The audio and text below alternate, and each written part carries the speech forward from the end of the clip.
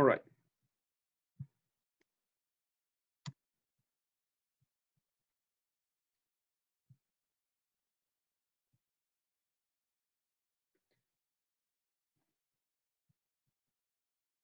Can uh, can you confirm that you hear me?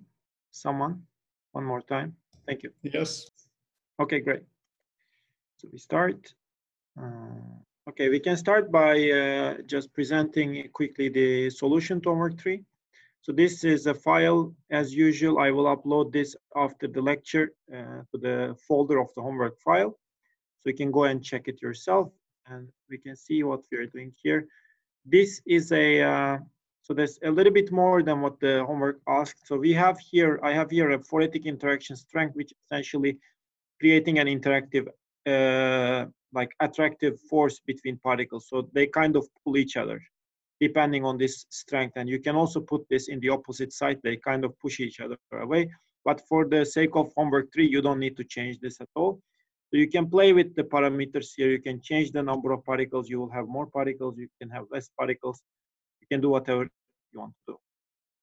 And then you can change, for example, the rotational diffusion strength. If you increase it, you see that particles are going around much more randomly. And if you set it to zero, you see that they go pretty much on a straight line unless they hit they hit each other and kind of get blocked by each other.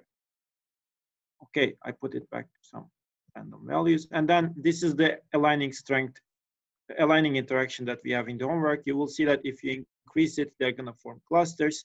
And if, if there is no interaction, they will go back to just moving uh, active Brownian motion as they're supposed to do. And you can, when the interaction strength is high, you will see that if there are no, uh, there is no rotational diffusion, which means the noise is very low, they will uh, form much more stable clusters. And if the noise is high, you will see that the cluster formation is not really happening as it was in the case of lower rotational diffusion. So any questions about this? I cannot see the chat here. Let me open the chat also here so I can see. Yes, great. So here we can check the implementation. So again, here there is a lot of part of the code that is just to generate some this uh, canvas environment and generate these controls that I'm using. And uh, you can see that I am initiating. So I have essentially uh, three arrays that I use that is necessary for me, x, y, and phi.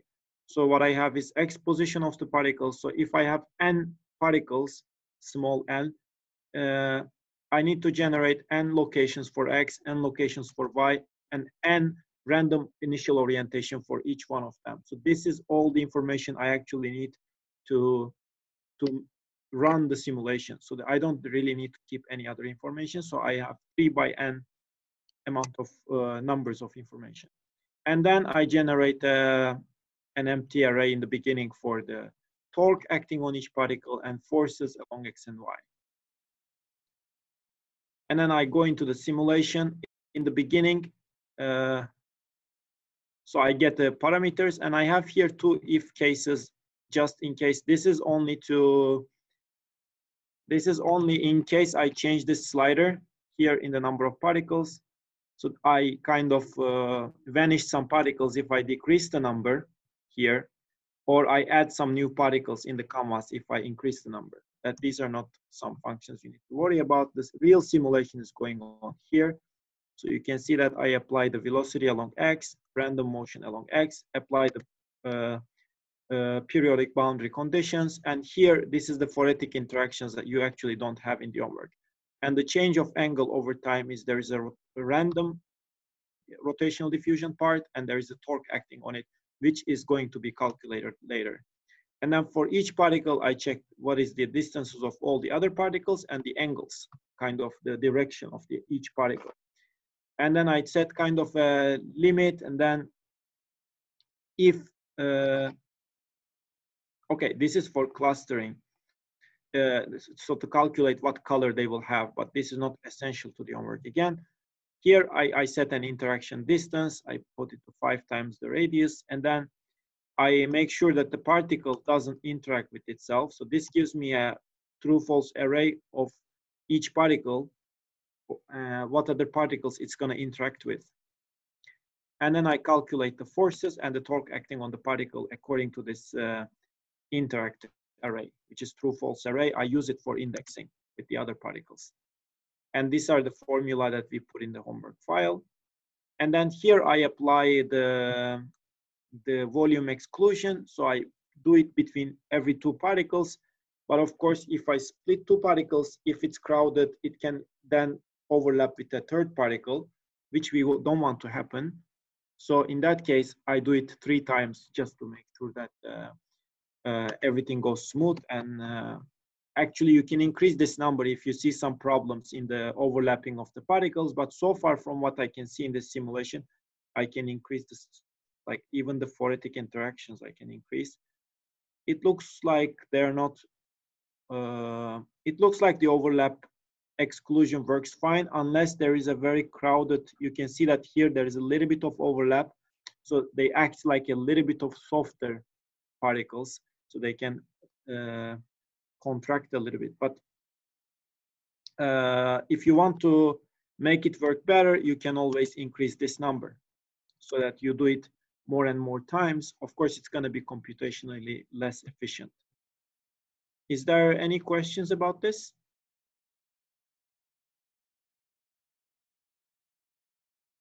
All right, so I will upload this to homework folder and I recommend uh, especially those of you who struggled with this homework to check this out, try to understand how it works. All right, let's go to the lecture.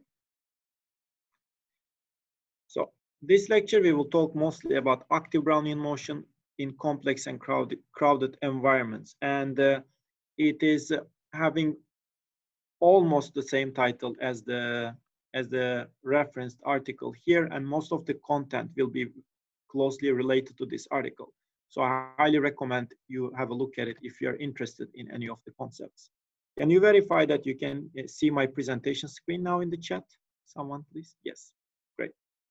So let's begin. So this is an outline. So first we will have a look at the introduction of active brownian motion. This you have seen before in a previous lecture brownian motion. So it will be shorter and we will talk about some experimental realizations and how people naturally and artificially create active particles in, in liquid environments. And uh, we, will we will see how this results in a breakdown on equilibrium statistics when particles are active in an environment. And we will see some collective behavior of these active particles, like the in the case of our homework three. And we will see some sort of uh, advanced scientific techniques where people use to sort and filter kind of active particles in, in uh, microscopic environments. Okay, so we can start with the first one. So if you have a Brownian particle in a liquid environment, what will happen is that this particle will have a random motion along x and y. So each time step, it will have a random displacement along x and along y the displacement will be Gaussian distributed and the amplitude of the displacement will be proportional to the square root of the translational diffusion coefficient. So this is uh, how we simulate regular Brownian motion. Or actually how we model, this is the equation of motion. Uh, this is Langevin equation essentially for a free particle in a liquid environment. What happens if, a, if our particle has a velocity along a certain direction. So it's a, if it's a swimmer particle, it means that it will uh, the the displacement along x will be also will also have a, a component that is uh, proportional to its velocity and the cosine of the orientation, and the displacement along y will have an extra component that is the velocity times the sine of y So it will go along uh, these directions according to its velocity and orientation. Also, we will have a, have a third equation that defines the evolution of the orientation of the particle, in, in which the, the, the, direction that the particle is propelling itself. So this uh, it can be uh, fast or slow depending on the diffusion, rotational diffusion coefficient defined as dr here. So the for more, for for regular Brownian particles, spherical particles in the coefficients scale with the translational diffusion coefficient scales with uh, the temperature divided by the radius of the particle, whereas the rotational diffusion coefficient uh, scales with the temperature divided by the cube of the ra ra radius of the particle. So as the particles get smaller, they diffuse faster in a liquid environment. That's why when you have a look at under microscopy, if you have a look at a particle, for example, that is 50 microns, that is almost visible with, with naked eye, you may not be able to see its motion because its motion compared to its size uh, over time is very slow. So diffusion for that particle will not be so fast. However, if you have, if you can visualize a microscopic particle in an environment that is much smaller, you will see that it's moving much faster and also it's reorienting itself, the rotational diffusion, the, let's say the, the rate in which the particle changes its orientation will be much faster. And here you can see some sort of uh, sample simulations where the particle is moving. And these are all these are all different uh, uh, realizations of the same simulation. So you can see that the direction can be uh, actually, okay, this is uh, kind of the same simulation, but particle started with different initially randomized direction. So you can see that it has some sort of rotational diffusion that takes changes direction uh, continuously, and it has a constant swimming velocity plus a regular Brownian motion. But what can happen is that just like swimmer particles that have a constant propulsion, so they propel themselves in one direction over time, there might be Brownian particles that are active and also chiral, which means that these particles don't tend to swim on a straight line. They tend to uh, also rotate in one direction uh, more often than the other. So they kind of apply not only a force on themselves, but also they apply a torque on, on their own axis. So an example can be like a, a bacteria with flagella, or an example can also be a particle that propels itself that is asymmetric. Due to its asymmetry, there is a torque acting on the particle from the liquid response. And this will create a, uh, a additional term in the equation of motion of the, of the orientation of the particle, that is omega. So just like the, the particle positions that were changing with the velocity, the particle's orientation will change linearly in addition to the rotational diffusion. It will change linearly with this uh, rotational velocity omega that the particle is acting on itself. Is it clear so far? Any questions? All right, we can move on. Okay, let's see now uh, what happens when we have this kind of motion. Uh, we want to, let's say we want to simulate this. Importantly, we, we need to, so that, okay, here maybe we need to understand how we can simulate. So in order to simulate this equation, we need to put, convert this into difference equations. So instead of dx divided by dt, I need to use a notation delta x divided by delta t. In this case, what will happen is that we need this kind of uh, difference equations in order to simulate it. We don't use differential equations, but we use difference equations for simulation. So what will happen in this case is that uh, I calculate the orientation, x and y positions of the particle for each next step. So the important thing is that if I didn't have these uh, random uh, terms, the this part would be very clear. The, the particle's position at i plus 1 will be xi plus the velocity along x, which is velocity times the cosine phi i, the, the orientation at, at time step i, times delta t. Plus, we need to add a random term that is responsible for the diffusion. However, you can notice that here wxi is the random number I generate for the related to the particle's diffusion along x at ith time step. This has a mean zero and variance one. So it's essentially in MATLAB or Python notation or syntax, this is what we call randn, the, the function that we call. here, what is interesting is that I, I don't need to multiply this by the, the, the amount of time step delta t, but I put it uh, uh, in the square root. So this is the displacement along one direction due to diffusion is proportional not to not to delta t but to the square root of delta t. This is simply because if you add two if you add two random numbers on top of each other, if you have two Gaussian distributed random numbers with uh, mean zero and variance one, their total variance will be two. So not that their mean or their standard deviation will add up, it's their variance that will add up onto each other. So this is one thing that you need to be careful about if you are changing delta t in a simulation where you simulate Brownian motion or any motion for that matter related to diffusion or random walks. Here you can see that these random numbers we create for each time step, we, we kind of uh, uh, normalize them by dividing them to the square root of delta t.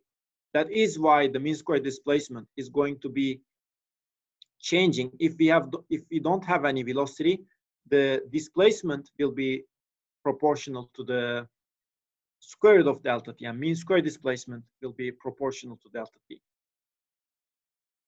So this is what we see here. So we have here four different particles. Importantly, we can have a look at uh, the one that is not moving, the, the particle that has no velocity here, and the particles that have velocity here.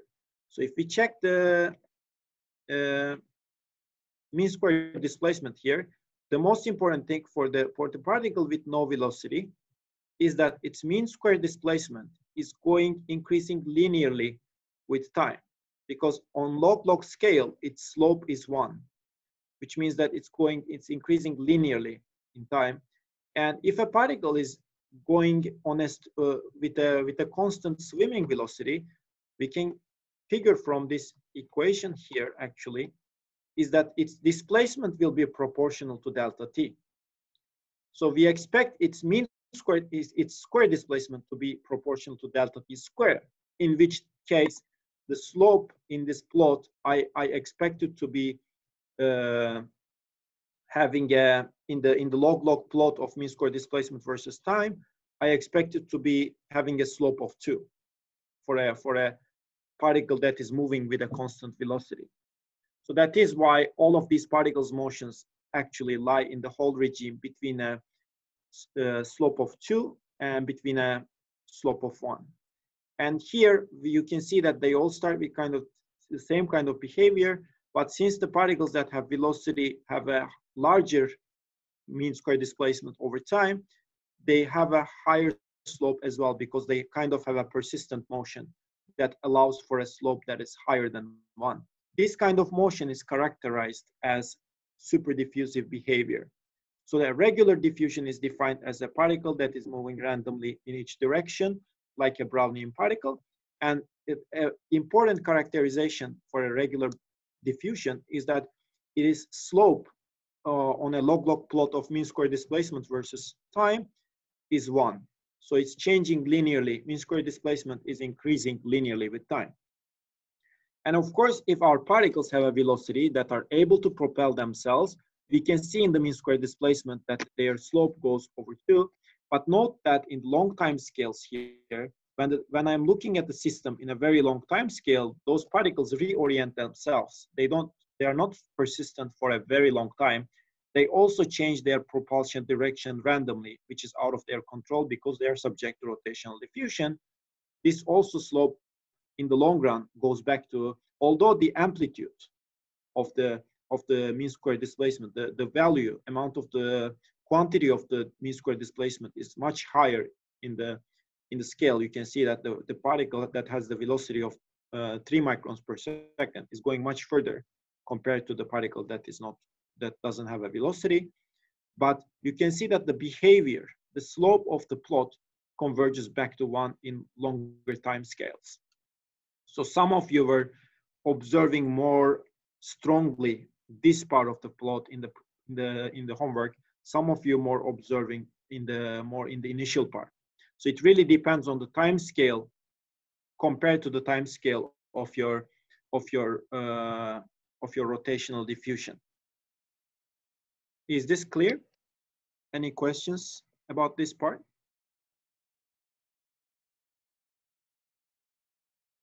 Okay, so we can move forward. So this part, if this part is clear, so this is uh, essentially what people call or define as super diffusion. Super comes from the fact that it's going beyond normal diffusion and mean square displacement values have a, a higher slope than than a regular mean square displacement that a particle that has no activity kind of. And uh, we, we can also have a different kind of anomalous diffusion that can be described as subdiffusion. Can anyone guess what subdiffusion in a mean square displacement plot would refer to from the word itself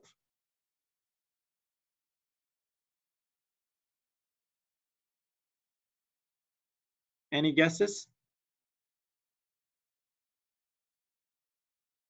A hint would be that if a super diffusion is, uh, yes, exactly. Adrian wrote it to the chat now. If a super diffusion have a slope that is greater than one, subdiffusion would be a case where the particle is having a uh, slope that is smaller than one in the in this plot, which refers to the cases where particle is obstructed or trapped in kind of certain kind of areas. So its its mean square displacement cannot go uh, as it should uh, compared to a normal Brownian particle. This is often referred to the cases where the particles get trapped in certain kind of areas. For example, this is an example experiments or a simulation of a particle that is uh, kind of uh, trapped in a in a potential uh, field landscape in the beginning, the strength of the forces are very small on the left side. In, you, you see in this plot A, where the particle is freely moving, essentially. As you increase the amount of force more and more, what will happen is that particle will be uh, trapped in these kind of uh, lower potential uh, energy areas and it won't be able to get out. If you increase the strength of the potential landscape even more, you will observe that the particle will not be able to move at all at the end and will be trapped in a very limited area. And you can see that as you increase the amounts of average force acting on the particle here from, so that the default line here is the is the line of the of the regular diffusion, which uh, corresponds to a case where your slope is one. So you can see actually, have a look at the decades along X and Y, and you will see that this would have a slope one. Whereas if you start increasing the average force on this potential landscape, you're gonna see that the particles mean square displacement will start having kind of uh, a subdiffusive, what we what we call a subdiffusive behavior. So its slope gets under or lower than one in this case. And you can see the, the, the indicator is that the maximum displacement or square displacement a particle can have from, a, from its initial point cannot go beyond a certain value kind of for a long time, which means this is a sign of trapping. So the particle gets trapped somewhere or its motion is somewhat obstructed by, it can be by obstacles, it might be due to boundaries, Think about a particle that is limited in a, in a space with boundaries. It can, in the beginning, the mean square displacement can go linearly, but over a very long time, the particle will reach the boundaries and its square displacement cannot really be larger than the, than the sizes of the, of the environment that the particle is trapped inside. So this is kind of sign of trapping you, we see here, we start to observe. And this is kind of when the motion of the particle, diffusive motion of the particle is obstructed, the, we observe a mean square displacement slope that is smaller than one, which we call subdiffusive behavior. Is this also clear so far?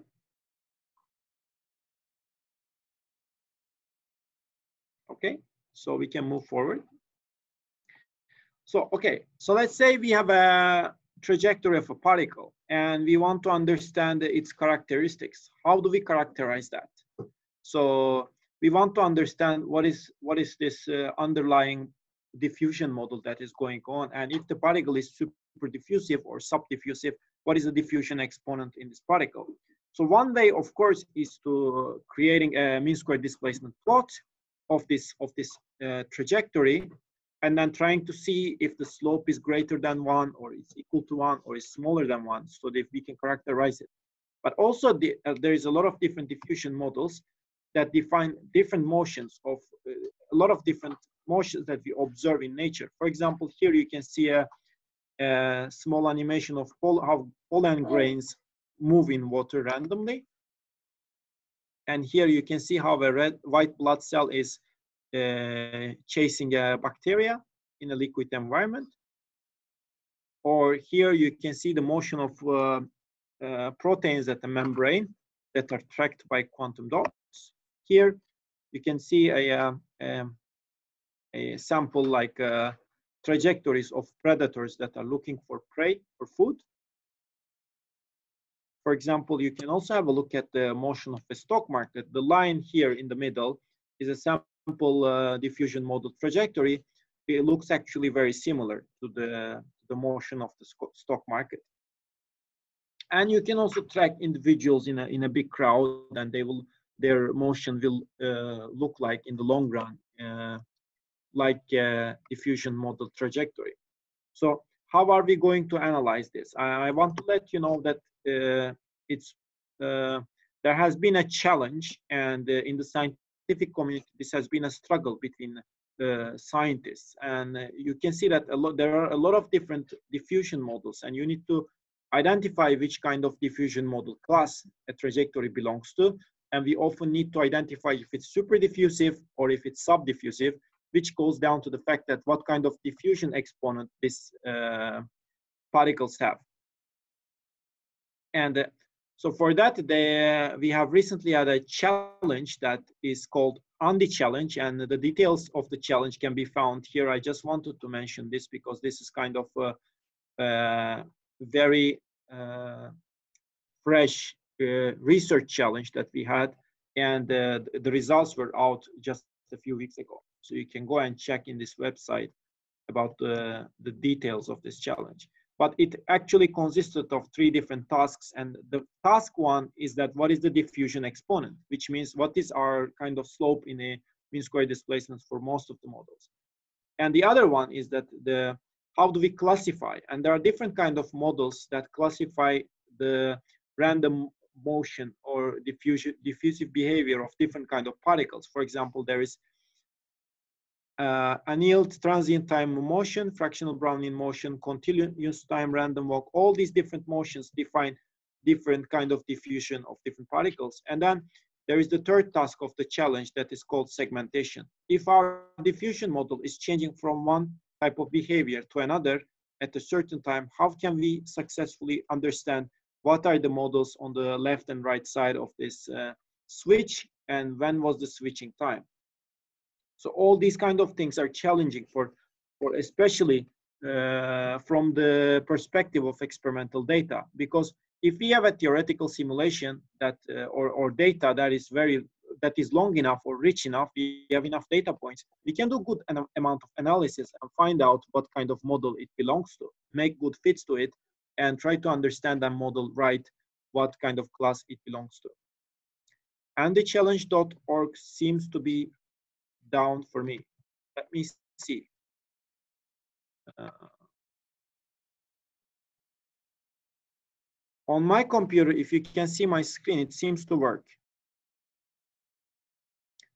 It may be due to, they, their website is not very robust from time to time. I don't know why it works for me and not for you. Yeah, it might be.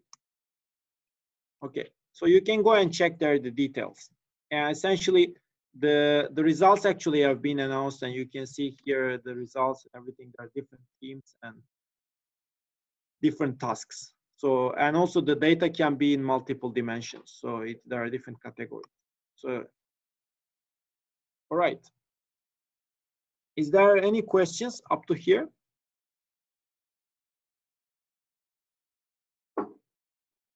Okay.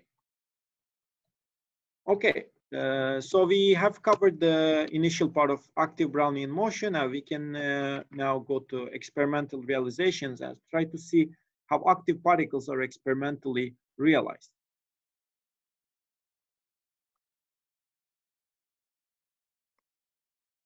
So here, of course, the most natural way that one can think of what are the active particles that we know that naturally exist. They are bacteria, and we can culture bacteria that we know are swimming well, that are characterized. How much difference does multiple, okay, there is a question about the previous part here. So how much difference does multiple dimensions add is a good question, is uh, essentially a Brownian motion of a particle is, uh, is independent along x, y, and z, right? If I am diffusing randomly, having a motion along x, y, and z, my equation of motion is independent. However, it may not be the same. Think about all these kind of different kind of diffusive models here. A, a Brownian motion of these pollens, for example, here, in this case, their motion along x and y will be independent. So it doesn't really matter if I add more di dimensions to the data or not. Uh, but it will be pretty much different for this uh, white blood cell because its its motion is is dependent along x and y. Because whenever it's moving in one direction, it persists to move the same direction for a while along x and along y. So if I plot the x and y independently, I will see displacements that are that are correlated. It's the, the same thing applies for predators that look for prey. They go in one direction for a while, stop, look for food a little bit there, and then go in another direction. And when they go in a straight line, kind of, they displace the same amount in X and Y for a while. So this kind of gets correlated. And this is sometimes easy to realize if you analyze the data, if you don't have any measurement noise in the particle position. However, if you have measurement noise, this also gets, this correlation might get a little bit more difficult to see, therefore difficult to classify what kind of if it's an active Brownian motion or not. Does that answer your question?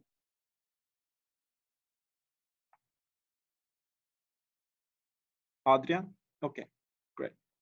So we can move on to the experimental part. Okay, so how can we realize this active Brownian motion in the experimental environment? So we can collect data and, uh, and analyze them and do statistics about it the most natural and obvious way that we know that are good swimmers are E. coli bacteria.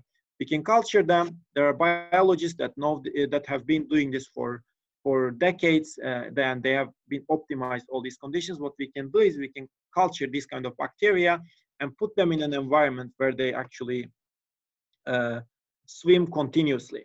And there are also other kind of bacteria that different genetics that have uh, uh, different kind of swimming behavior. Here you see this actually this very similar type of bacteria, but they have a different kind of motion that is classified as run and tumble motion.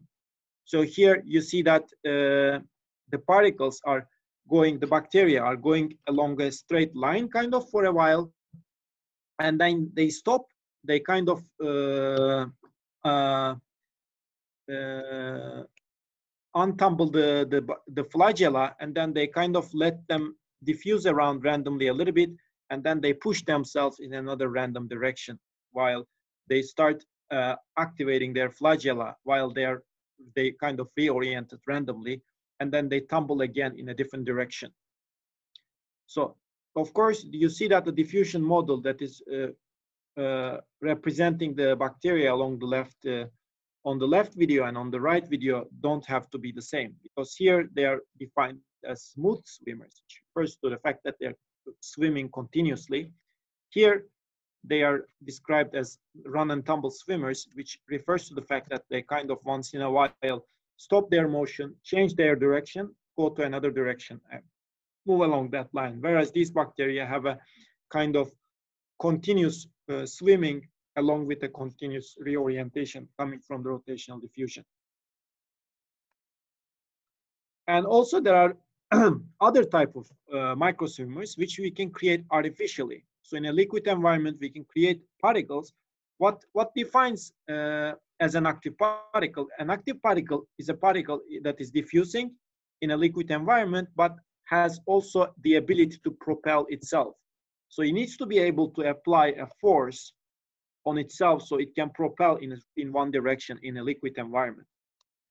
And one way to create this is that people have uh, the the first idea that people had is that creating asymmetric particles and uh, thermally uh, stimulate them to move in one direction. So this is one experimental realization that was one of the first ones that they kind of coated a microscopic particle, half of it, uh, with, with gold. This created an asymmetry around the particle, especially if you shine a laser field that have a, a green, uh, green laser light that is uh, absorbed strongly by the gold part of the particle. In this case, this creates an asymmetric temperature field around the particle. This creates the asymmetry and the thermophoretic forces that push the particle along one direction. And another method is that, uh, so, so you see that this, this method is, uh, is, is good and it works, but the problem here is that uh, the, the one here is that the thermophoretic forces are, are not very strong. So the particle's motion is rather slow. Here, there is another model that people have developed. This is a catalytic, catalytic swimmer, what people call. So they make a, also a particle that has uh, an asymmetric coating. One side is coated with gold that is not reacting to the surrounding liquid. The other side is uh, coated with platinum that actually uh, uh, reacts to hydrogen peroxide very strongly, chemically reacts to it. And this results in, in, uh, in a strong reaction if you, if you expose these particles in an environment with hydrogen peroxide. So the, this is catalytic and it's the reaction is very strong. This works kind of like a rocket and the particle is propelling itself constantly and it, it can have higher uh, propulsion velocities. But the disadvantage, this is not biocompatible because hydrogen peroxide is an, not a biocompatible chemical compound. Another example that people can, can have is uh, attaching or connecting a magnetic uh, tail to a microscopic particle and mimicking kind of the flagellal motion of the, of the bacteria. You can see here is that people can attach kind of uh, a something magnetic at the at the at the edge of a spherical particle, making making it look like a bacteria, and then externally drive this kind of magnetic tail with a with a with a modulating external mag magnetic field, and the particle will start kind of propelling itself in in one direction. You can see that this is not the uh, like the intuitional movement direction but particle is like rotating like this, but it's actually pulling itself in one direction. Another example can be that uh, okay, there is a question. Would the particle not align with the magnetic field? It depends on the particle type. Here we have uh, the, the, the, most often the particles are silica particles that are not magnetic at all. They don't have any magnetic properties unless they are coated with something else. Here, uh, the, the tail of the particle is magnetic that they can control and align with the field, but the head is not magnetic. Of course, you can also have a, have a different design, microscopic design of, a, of the particle that is uh, uh, uh Head can also be magnetic, but in this particular case, head is not magnetic. It's only the tail that is magnetic. So would you need some sort of stochastic magnetic field to get Brownian motion? Here, the purpose is more to get active Brownian motion than the Brownian motion because Brownian motion, we get it anyway inside the liquid environment. And for a lot of purposes, yet activity in a liquid environment, the purpose is to control the particle motion is not to randomize it most often. For example, these possible applications are drug delivery and other kind of microscopic applications. So you, the, the idea is more always experimental purposes are more focused around controlling the particle motion rather than randomizing it. So people don't really have always the purpose to create a Brownian motion, which already exists. Here you can see another example of this uh, hydrogen peroxide I have shown you. And here you can see a very tiny microscopic particle that is almost difficult to see. You, you can see that it's propelling itself rather fast compared to its size over time. Uh, this, of course, one limit for this system, as you can see, is that hydrogen peroxide is kind of working here like a liquid and as the particle is interacting with the environment, it's creating a gas. So there will be bubbles coming out of the liquid in the long run, and it will, it will eventually turn into water. And if there are no hydrogen peroxide left in the liquid, it will stop working. And there is lately another uh, kind of advancement in, uh, in these kind of particles. These, by the way, are called most often referred as Janus particles. And they can be put in a pretty much like the case of uh, the original Janus particles that worked with thermophoretic forces. This one is subject, uh, this one is uh, immersed in an environment where there is a liquid uh, mixture, which is water and lutidine, that this mixture has a very specific feature that it's, uh, they are dissolved, the compounds are dissolved between each other above certain temperature, and they are kind of demixing below a certain temperature. What will happen is that if you keep the solution in a, at a temperature that is very close to this critical point, a small heat can create a huge uh, fluctuation in the liquid that would create a large, much larger amount of forces compared to the case of thermal forces. So in this case, what will happen is that when you shine light on this particle, green light, the gold-coated half of this particle will heat up. This heat will create a higher temperature around this part of the particle, around this half of the particle, and this will create, since it's already very close to a phase separation temperature, it will start demixing here, water and lutidine, where it's dissolved between other places. This will create a very strong asymmetry, much stronger compared to this, this original Janus particle. And it will create a strong propulsion force along one direction. And this will also create active motion. And these are some sample example ways you can go and check. I, when I upload this presentation to the lecture folder, you can go and check all these different kind of, also other kind of uh, artificial microswimmer models and how they are realized experimentally on these reference links here. Are there any questions so far?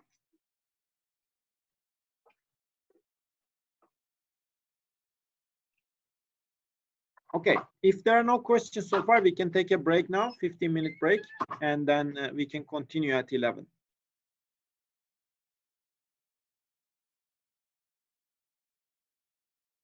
All right, let's proceed. Let me see.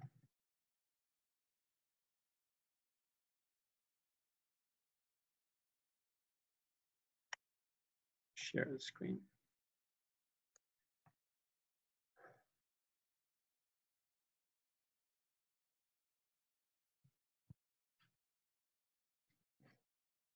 Can someone in the chat confirm that you can see my screen and hear me? Yes, okay. So in the in the last lecture we were we have been seeing all these kind of artificial micro swimmers that can propel themselves and uh, we can ask the question how can we have uh, uh, artificial swimmers that are not only uh, active but also they are chiral active particles so that, that kind of have a chirality that can go along kind of helical trajectories instead of a linear ones so they have kind of a tendency.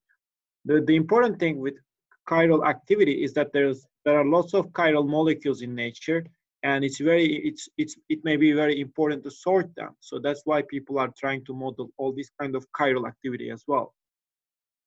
So it's not only a metaphorical curiosity it's also important for understanding the natural chiral active particles and their motion behavior. And uh, the, the the approach is very similar to those ones that were having a, a continuous uh, active motion. In this case, where they have a kind of asymmetric particles that are L-shaped, and uh, the asymmetry direction of the particles will determine if the particle is going to be left or right chiral particles. So you see in this kind of uh, in the in the in the first case that is shown in A, the particle has a yeah, reverse L shape, and they only coat with gold in the bottom part of the particle that is here. So when we shine light on it, this part of the particle is uh, getting heater than the rest, which results in a propulsion in this forward direction. So it goes in this direction, propels itself. However, what happens in reality is that since the particle is asymmetric and there is a, the propulsion along this direction, there is a torque acting on the particle. So this results in the change of the direction of the particle over time. And this results in a, in a propulsion that is going in this kind of helical trajectories. And what happens, what, I, what do I need to change the direction of this uh, rotation? simply just uh, reverting the asymmetry of the particle. If I make a particle that is asymmetric in the opposite way, it will have a chiral motion that have the opposite chirality. Okay, so now we have seen some simple characteristics of active Brownian motion and uh, some kind of experimental realizations. We can have a look at uh, some properties and why are they important and uh, why we study them. One of the important things with active Brownian particles is that they are breaking down equilibrium physics or equilibrium statistical physics that we know. And most of the rules that we know from equilibrium physics don't really apply to the case of active particles. And why do normal, uh, why does the standard equilibrium physics law apply to the Brownian particles? because the, the surrounding, surrounding liquid environment for these Brownian particles act as a thermal bath. Example we can give here is the, is the first case. Assume that we have a particle, Brownian particle that is uh, immersed in an environment where we have a harmonic potential energy. So the particle has a kind of recalling force up uh, back to a certain direction along one direction. So in this case, the minimum energy point is where x is equal to zero. And if the particle is displaced from this position, it will be uh, uh, subject to a force that is pushing the particle back to its original position. Depending on the displacement of the, of the particle, the force, recalling force will be larger. And if we simulate a Brownian particle with no activity, just diffusion, we will see that its motion will be uh, confined within this trap. So it won't be able to go so far away because of these recalling forces coming from our trapping potential. And we can have a look at this uh, distribution of the particle. And we will see that this distribution can be uh, predicted by Boltzmann distribution formula uh, with, with, with uh, different states of a system with different potential energies. And you can repeat this with many different, so this is a potential, you can see that this is a quartic potential. The potential energy value is changing by the fourth power of the position. And you can see that the particle characteristics in the trajectory is a little bit different, but the final distribution will be, we can be exactly distributed uh, as the Boltzmann distribution predicts. And here you can see another case where the the particle is trapped in a kind of a double well. In this case, the trajectory will look like this. It will be trapped for a while in one well, and it will, once in a while, it will have enough diffusion strength to jump from one well to the other, and it will diffuse there for a while, and it will jump back and forth. This is a famous phenomenon that is referred in the literature as Kramers transitions. So you, if you see the distribution, position distribution of the of the particle, this is actually proportional to the uh, inverse exponential of the of the initial potential energy. So this is a very important uh, uh, test to see if equilibrium statistics work for a, for a Brownian particle. We can also realize this kind of uh, uh, potentials. So all these potentials and results I'm showing you are re numerical results. I just assume a hypothetical potential that is uh, a harmonic potential along uh, around a certain equilibrium point and then create and simulate a trajectory. But is there a possible way to verify this experimentally? The answer is yes. And how we do it is the following. So we can have a, so this technique is called optical tweezers. If those, uh, if some of you may have heard of it, it's probably because it received a Nobel Prize uh, two years back in physics. So what we can do is if we have a microscopic particle inside the liquid environment and we are focusing a laser beam on this particle, what will happen is that these laser beams go through the particle and let's assume the particle initially stands in the very center of this laser beam. All the beams, since they are going exactly inside with 90 degrees, it will go without refraction and they will get out from the particle. And uh, this right side is just to keep, let's say we have another objective that is collecting the beam. So this is what we have if we have a microscopic particle at, at the precise focal point of a laser beam. But if we let this particle diffuse around, the particle will start refracting the light beams.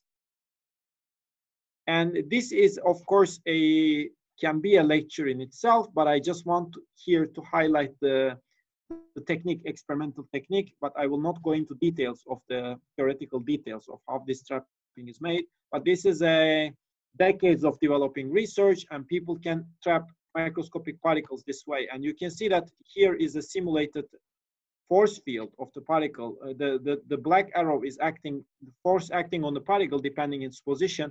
And you're going to realize that if the particle is going in the this direction compared to its equilibrium point, it will optically be forced back to its original position. And the opposite the will happen if the particle is displaced in the other direction, it will be pulled uh, back to this direction. And it, the exact equilibrium position will be slightly to the right of the focal point, simply because some of the laser is scattered back. And this is due to the fact that the, the light has momentum, and when the, the light hits the particle and gets refracted, it, it kind of changes its momentum, and this results in an acting force on the on the microscopic particle. And uh, if you have a questions, we can discuss in detail more about this uh, but it may take a it may take a lecture in itself. But I just want to highlight here that with using lasers, we can trap and manipulate microscopic particles in liquid environments, and this is a widely used technique and very like uh, it has been standardized in a way that, for example, here you see that I have programmed a microscopic particle to go along a a trajectory that I predefined in the computer. What I do is I am moving my laser beam along a point that is kind of drawing an infinity sign and the particle is kind of following that laser beam, which you don't see the laser here because it's filtered out in the optical optical with an optical filter. Because the laser beam is strong, then I wouldn't be able to see the particle. You can see that when I'm moving the laser beam, the particle has to follow the laser. So we can actually create traps and manipulate particles and trapping potentials with, with lasers experiment and this can apply to so many different systems depending on your system of course. If you are if you want to trap atoms single atoms you cannot do it in a in a liquid environment. You need to create a very high vacuum advanced environment but it's possible to trap single atoms with laser beams. It's possible to trap quantum dots. It's possible to trap biomolecules cells bacteria algae or all these kind of uh, artificial microscopic particles as well. Or it can also be lipid droplets. It can be anything you can think of that has a higher refractive index than the one of water inside the liquid environment. So this technique is widely used to study experimentally the properties of microscopic particles and how they behave. So, and then once we have the particle trapped uh, optically, so with a laser beam, what we can do is we can uh, create the image, get the image from the microscope, threshold the image, and find the center of mass of this thresholded image, and we can identify the location of the particle, and we can do it for many different frames, and we get the, this is, you see here, an optically trapped particle moving around uh, inside, a, inside a trap under a harmonic potential, and you can see its trajectory. So it's recorded over time. One thing you have you you can notice here is that this trajectory, uh, this is an experimentally obtained trajectory, looks very similar to the original trajectory I showed you here, trajectory of a particle that is in a in a harmonic potential. Of course, then once I have obtained this trajectory, I can check that uh, if this uh, potential is uh, verified, if this potential that is trapping my particle is harmonic. If it's harmonic, it should be following my Boltzmann distribution rule that I was showing you in the beginning. So I check the uh, logarithm of particle displacement versus uh, the, the position, and I see the, the measured points from the experimentally measured trajectory points. The distribution of the probability of the particle is uh, fitting precisely to the distribution of the of the of the Boltzmann that is predicted by this formula. Here you notice that the probability distribution here is plotted in logarithmic scale. It is actually identical to this distribution that I'm showing here. Something that looks like a Boltzmann distribution or Gaussian distribution looks like this on a on a linear scale when the y-axis p of x is linear looks like this in the in the logarithmic scale it looks like a parabola in the logarithmic scale so it's only the different definition of the y-axis here, that is the log. So here we can actually experimentally verify that uh, these particles actually uh, follow Boltzmann statistics if they don't have any activity. Good. However, what we want to show next is that when we have active particles, these equilibrium statistics kind of break. So we are no longer able to observe the same kind of behavior. For example, let's say this is these are some simulation results that is from a from a nice article about this and you can you can see the link here. I think this one is the additional reading folder of the of the lecture uh, lecture folder lecture 7 folder. So when the particles have no activity that you can see in this panel a is that they can go with diffusion along everywhere in this limited area of a circle. So they can go to the boundaries, they can come back, but they have solid boundaries, not periodic boundary conditions. But I want to say that it wouldn't change anything if they had periodic boundary conditions for this case. So that you see that the probability distribution of these particles is flat because there is no there is no forces acting on the particles. So it's the potential energy is flat. So the probability should not change from one place to the other. However, as soon as the particles start being active, you realize that what happens is that they get they swim along a certain direction until they hit a wall and then they tend to kind of try to swim against the wall which they fail to do and eventually they end up spending more time at the boundaries. And as the activity increases on the panel c you see that they they swim much faster and reach quickly to the wall and kind of for a while try to swim against the wall. And even if they change direction, they go again another direction and hit again the wall quickly and then spend a lot of time at the boundaries. So of course, the distribution of the of these particles, the probability distributions that at the time, if you look at a particle where they can be, we will observe them much more often to be found at the boundaries than in the bulk or in the center. So in this case, this shows us obviously a strong difference if we compare it to the case that is on the left panel, that is the A. Here, they don't have any velocity and the probability distribution is following the what we can uh, predict from equilibrium statistics, Boltzmann equilibrium statistics. However, here you see that the distributions of particles are, are they tend to be much more uh, uh, at the boundaries rather than at the bulk. And you can kind of uh, do a similar research. These are the probability distributions of particles with uh, different velocities of uh, in a in a harmonic trap. And then you can see that if the particle velocity is very high, they tend to kind of have a double peak because once they try to go in one direction, they kind of get in uh, stuck in the one edge of the trap. And if they try to go in the other direction, they get tend to get stuck in the other edge of the trap. A similar behavior is, uh, is observed in, in this kind of a setting with simulations is that uh, whenever a Brownian particle has a potential barrier uh, in its uh, configuration space that has a certain amount of uh, potential height, but the barrier is asymmetric. which means that if the particles approaches the barrier on one side, the force acting on it will be smaller, but it will act on it on a longer distance. Whereas on the other side, the force acting on if the particle is trying to reach over to the other side of the barrier, the force acting on it will be larger, but it will act on a, on a shorter distance. So for a normal Brownian particle that is only diffusive, the difficulty for the particle to pass to the right side from the left side and the opposite will be exactly the same.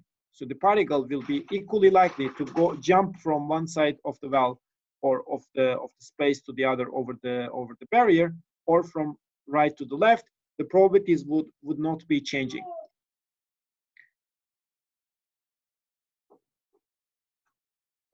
What does R represent? It can't be it's allowed to be negative. Where are you referring to, Matthias? Which plot?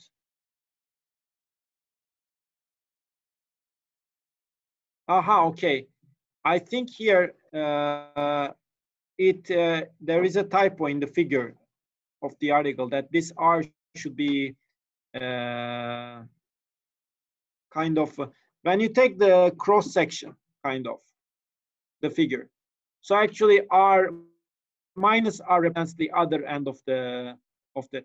I don't really exactly remember how this calculation was made, but it means that so that if uh, R is 20, it means that it's on one edge. If I, R is minus 20, it means that it's on the other edge, kind of.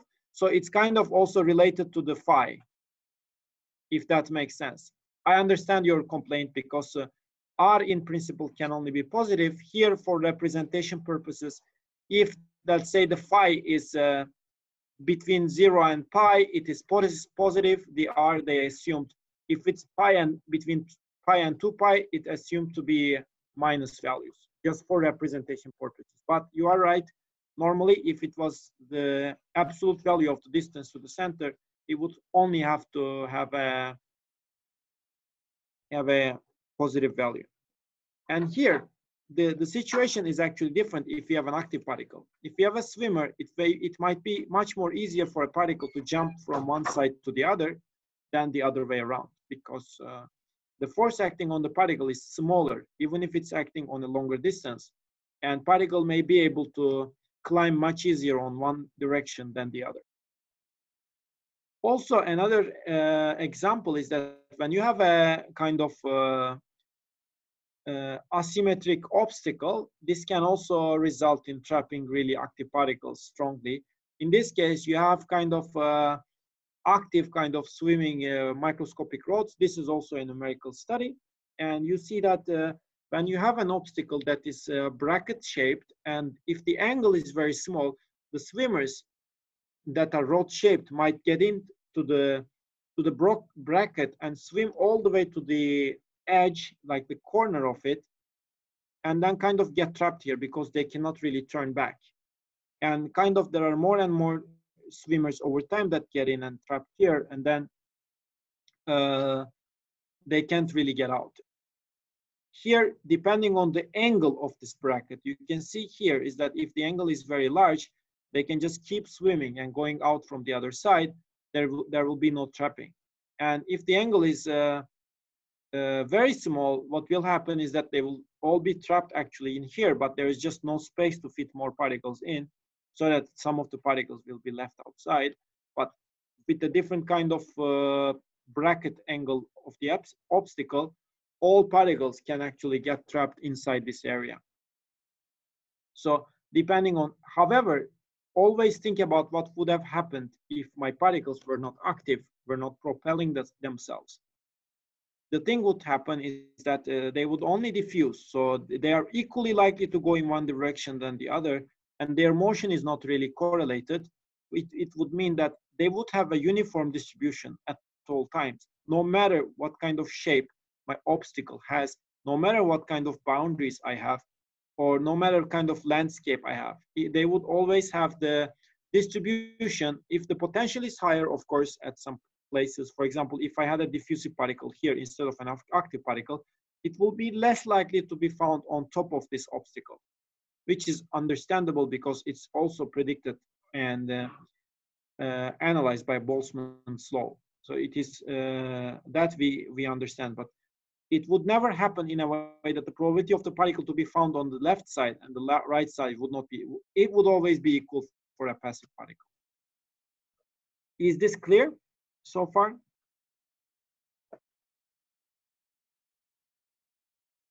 Yes. And then now we can go into the case. You remember when I showed you the case of the passive particle, when we trap it the particle and get the trajectory, and we see that it is its distribution actually follows the, the Boltzmann distribution, and we can verify this experimentally. We can ask the question, what happens if I put the same particle in an environment where there are swimming bacteria around? You see that this is a sample video of a microscopic particle that is uh, made of of silica. It's a very tiny particle that has two micron radius and it's kind of diffusing around freely. But importantly, once in a while, the particle is pushed by a bacteria in a certain direction.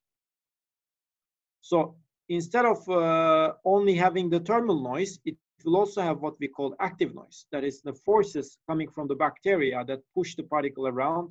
These forces are correlated over time, unlike the thermal noise, the random walk part of the particle's motion. So the resulting motion of this particle, this is an experimental trajectory you see is the uh, orange trajectory here is the trajectory of this particle in this bacteria sample. And you can see the blue one here for comparison. It's the same particle uh, diffusing freely in a liquid where there are no bacteria. You see that the motion of the particle is largely enhanced and importantly, you see that the particle's motion has a pretty persistent parts here, but it's going pretty much for uh, persistently in, in one direction for a, for a while. This is when actually, this is a time when the particle gets pushed by a bacteria uh, in, a, in a certain direction for a while. And what we see here is that mean square displacement of the particle. So the passive particle uh, that uh, is referred with this blue trajectory here. The trajectory of the same particle in, a, in, a, in an environment where there are no bacteria. If I check the mean square displacement of this particle, its slope is exactly one. So it's a regular diffusion. The particle is only moving due to the collision speed from the water molecules. And you see that the dashed, black, dashed uh, blue line here is the, a line drawn by the, for the comparison to the slope one. So this is following exactly the same as the regular diffusion formula. However, when I have a particle in an active environment where there are lots of swimming bacteria, its mean square displacement is, uh, its slope is greater than one for shorter time scales. It's simply because in shorter time scales, particle has this kind of persistent motion in its trajectory where it's when it gets pushed by a bacteria and this creates a persistent time scale that is short for the particle. But if you look at the mean square displacement in a very longer time, uh, you will see that its slope converges back to one, which is this red dashed line. Uh, this is because even though the particle gets pushed around for a while, which creates a persistent motion for, for the particle for a, a short while, it will that bacteria will pass by and go away and another bacteria will come and push in another direction. So it will renormalize in the long run, although it is moving in terms of absolute values much higher in terms of quantities, much more than the passive particle, but it will its trend in uh, the speed of changing its mean square displacement will again be linear. So we can say that this particle's motion in short time scales is super diffusive. We are referring to the parts of the regime that is uh, referring to a time scale that is kind of between uh, smaller than 10 seconds.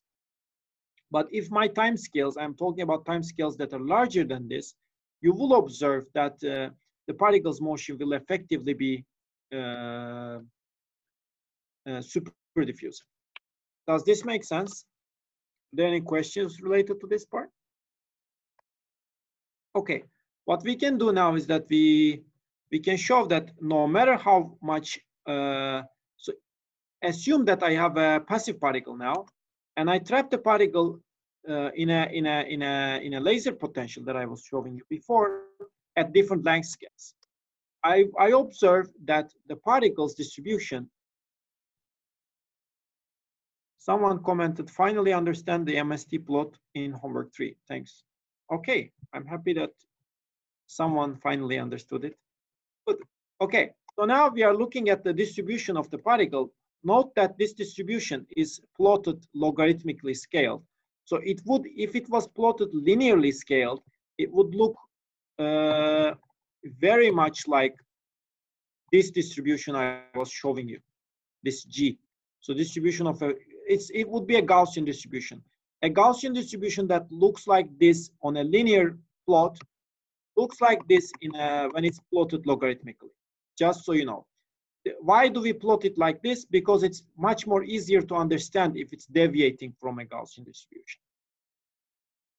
Okay, and then what I do is I increase the strength of the trap. You see that notice that the scale of x-axis is changing significantly. I am increasing the power of the trap and the, trapping the particle into smaller and smaller regions. You see here the particle is confined in a much smaller environment. What we observe is that the distribution quality doesn't change if I increase the trapping power for a passive particle inside an optical trap. The same is not true for, for an active particle. Instead, you see that I put the same particle that was the same trap here. You see the length scales are the same in an active uh, environment. So I create the same optical trap in an environment where the particle is immersed uh, in a liquid with bacteria. Its distribution is largely enhanced. But we observe that since this length scale of this trap is uh, much larger than the average, uh, let's say this is called, this, this scale here, orange bar is called persistence length, which means that uh, if I have, if I can tell you without getting into mathematical details, it's kind of an average distance that the particle gets pushed by a bacteria. So if this, if my trapping potential is much larger than this, what happens is that it kind of equilibrates at an effective temperature, kind of, because of the existence of the bacteria. However, as soon as I trap the particle in a smaller and smaller length scale, especially when the length scales gets get gets comparable to the to the persistence length, which is the uh, pushing length of the bacteria of the particle, and my distribution deviates from the from the one of Gaussian that I was always observing in the in the thermal equilibrium case, where there were no activity in the medium. So you, we observe here that even if our original microscopic particle is not active by itself, it can show non-equilibrium properties in an environment due to the due to the activity that is surrounding the particle. In, in this case, it's the bacteria. Is there any questions about this part? No. Okay. In this case, we proceed to the fourth part of this lecture, which is pretty straightforward because uh, uh, it was essentially very closely co uh, connected to your homework. So these active kind of particles uh, can uh, can create this kind of collective behavior and create clustering. And this was a groundbreaking research at the time. It's uh, a few years back, you can see seven years ago. Palacci and others observed this kind of behaviors. They created Janus particles and they were swimming in a liquid environment. They observed this kind of clustering behavior. And this was a huge impact uh, research and everybody tried to understand after this how this happened, how can we explain this kind of clustering behavior. And you can see that uh, it can happen on different kind of uh, uh, experiments and it could also be reproduced by other people. And he, in here is a kind of uh, environment where the particle also have an attractive force between each other. So they kind of, when they get the cluster, they stick together. And uh, it has also been verified in other research in numerical studies. And also one of the one of the simulations that is made about this one is the particles with aligning aligning interaction. That is your homework too. So what would happen is that here the, they would observe that the lifetime of each cluster depends uh, significantly on the amount of rotational diffusion on the particle. So this is uh, the reference uh, to the, the main reference of the homework 3 file actually. And this is the results that were uh, originally created. So you can also kind of see similar behavior in your own homework uh, uh, results, ideally, if you've done everything right. Or you can also run uh, my files that I, I will upload today after, and you can try to see this kind of behavior that particles are clustering. So this is one way to explain why the particles would, would uh, uh, cluster together. Is there any questions about this part?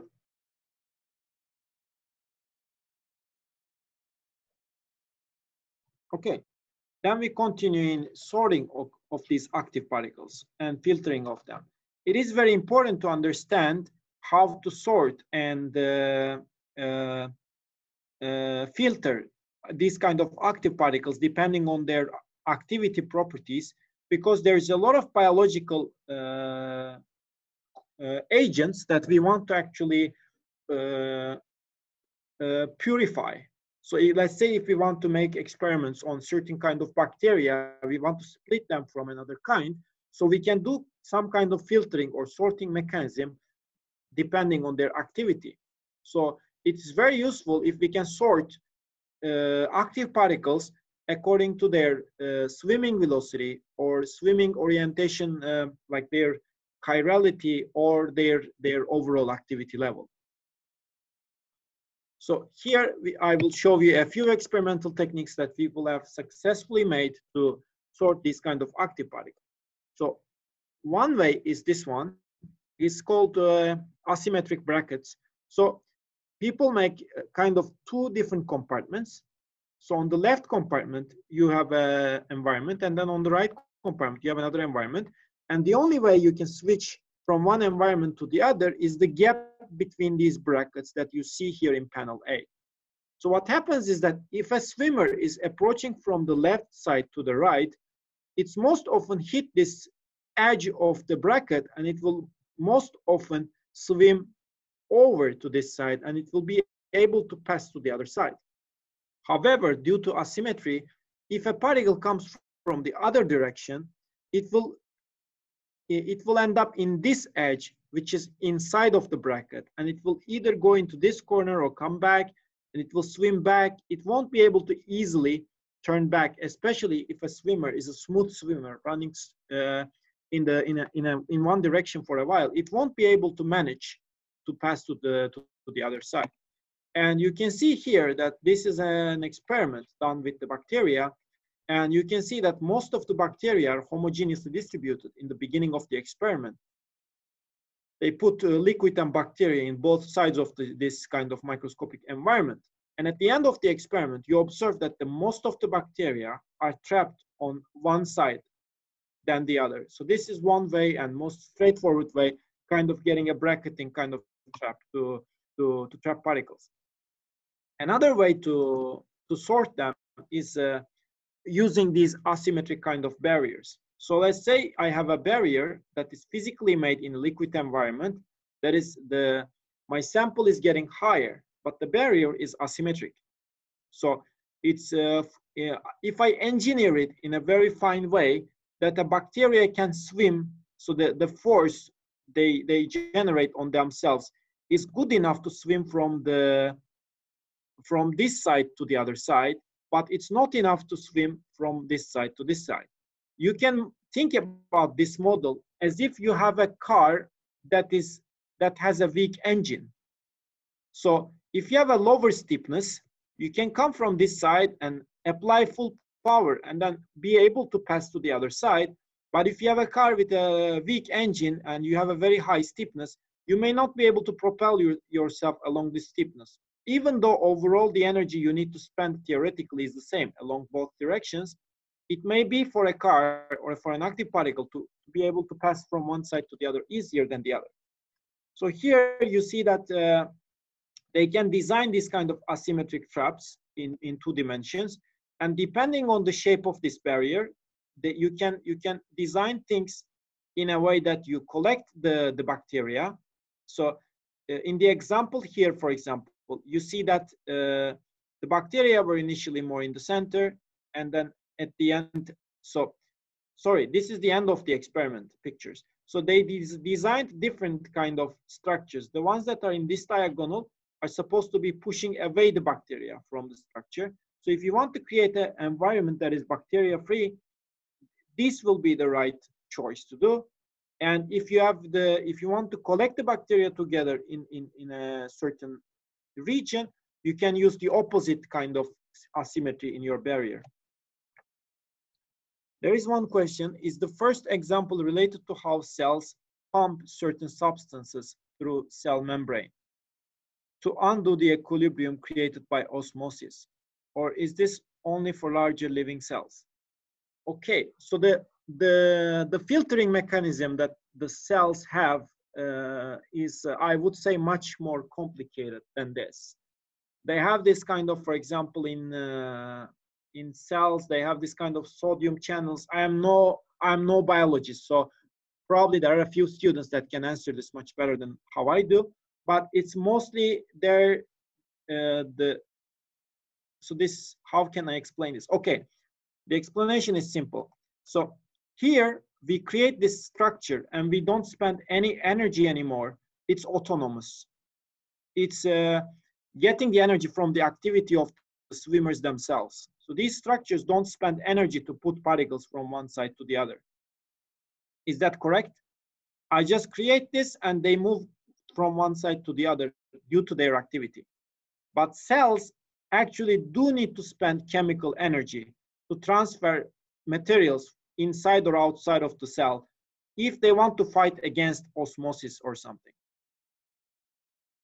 So it's kind of a different uh, structure.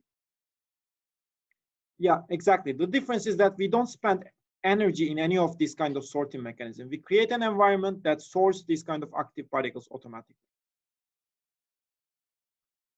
And we can also uh, make a similar kind of uh, so here we kind of in the in the previous cases we only had one type of swimmer that is swimming at the with the same characteristics. What happens if we have particles that are passive and particles that are active or even different kind of activity? We can create this kind of uh, uh, let's say patterned environments that there is the gravity here to the down. So this is two dimensional but you can think of it at, as x z. So this axis is actually where there is the gravity. So particles are by default pushed down. And if the particle is passive, what will happen is that it will, due to this structured, like smartly structured obstacles, it will more or less go down from where it starts. However, an active particle will mostly swim along these kind of obstacles and it will mostly go along one direction that is favored by the, by the design of the structure. And if the particle is, has even more activity, it may go even more along, along the close to a horizontal line. So this is one way of uh, characterizing particles due, uh, depending on their activity. So you, you, different particles with different activity will propagate in this kind of environment in different directions. Another way is that you can you can uh, sort the, the active particles due to their chirality by creating this kind of smart obstacles. While in this case, you see that if a particle has uh, left chirality, it will be much more stable for the particles or much more difficult for the particle. If it's automatically rotating left while it's swimming, it will be much more difficult for that particle to get out of this one. While it, if it has right chirality, like this way, it will be very easy because it's swimming in this direction and it can easily get out of this trap. The same is true for the opposite chirality. So if you run this simulation for long enough, the quality maybe is not good, but you see some kind of red and uh, uh, black particles here that are right and left chiral particles. And you observe that the ones with the left chirality will at the end mostly trapped on the left one and the opposite ones will mostly trapped on the right one. So this is another mechanism that you can trap active chiral active particles. And you can see the how chirality works in the particle that's really going around here. This is a left chiral particle, kind of.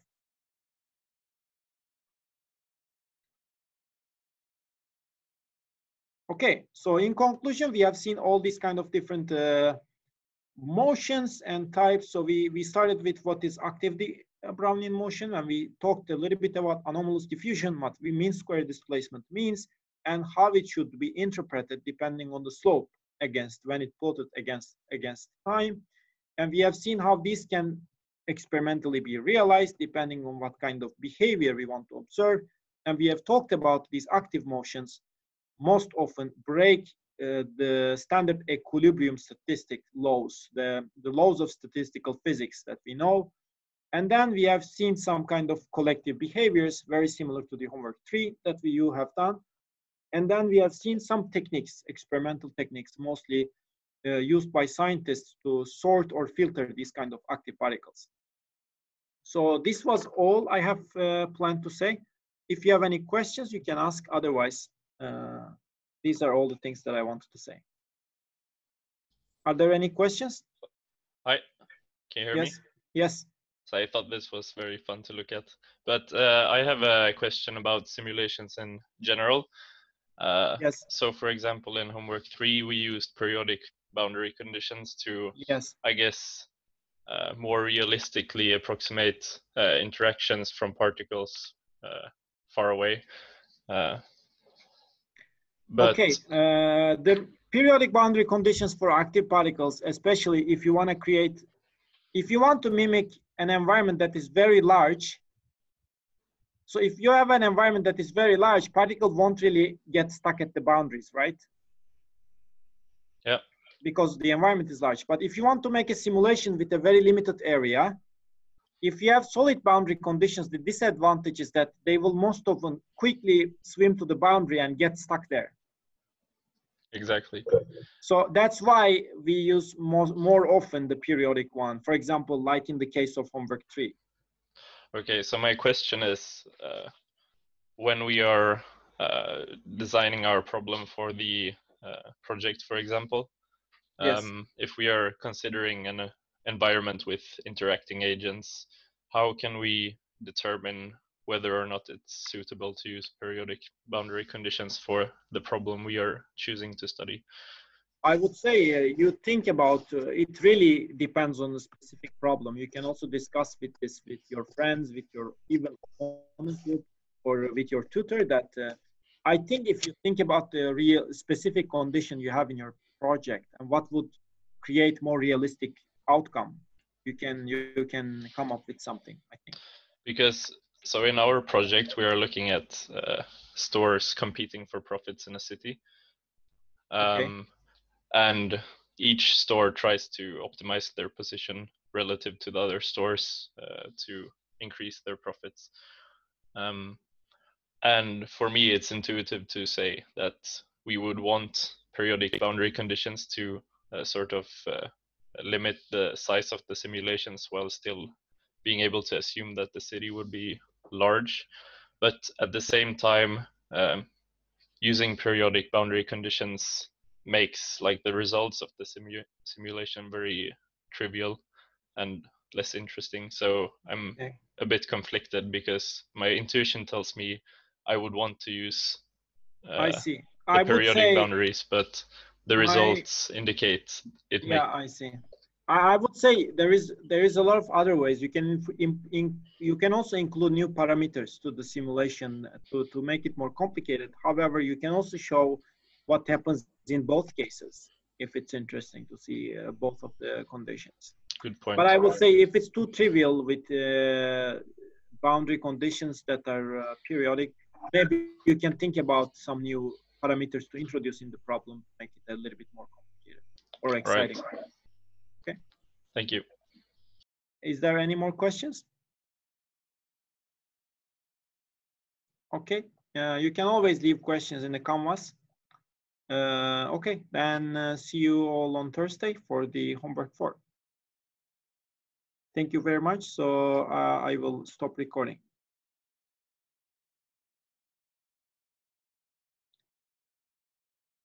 Thank you. The lecture is over.